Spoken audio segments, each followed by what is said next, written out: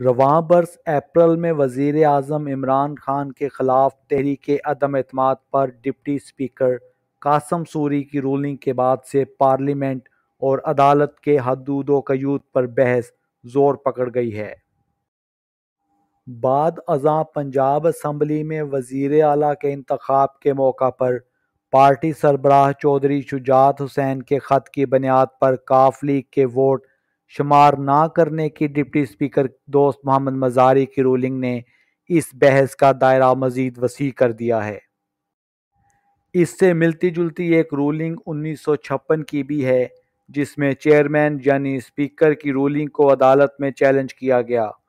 इस दरख्वास्त पर अदालती फैसले में करार दिया गया कि असम्बली जवाबत के मुताबिक होने वाले इंतखब के अमल और स्पीकर के ऐलान करदा नतज को अदालत में चैलेंज नहीं किया जा सकता और दरख्वास्त निपटा दी। लेकिन इससे मिलती जुलती सूरत हाल में हालिया फैसलों के बारे में पाकिस्तान की अदालती और आइनी तारीख मरतब करने वाले सीनियर कानूनदान हामद खान का कहना है कि पाकिस्तान में वकला और आइनी माहरीन माजी में भी ये सवाल उठाते रहे हैं कि अदालत को सियासी अमूर और पार्लियामेंट में तय पाने वाले मामला से दूर रहना चाहिए। इन्होंने कहा कि हाल ही में पार्टी वफादारी तब्दील करने वालों के वोट शुमार ना करने के फैसले को भी आइन में अजाफे से ताबीर किया गया था।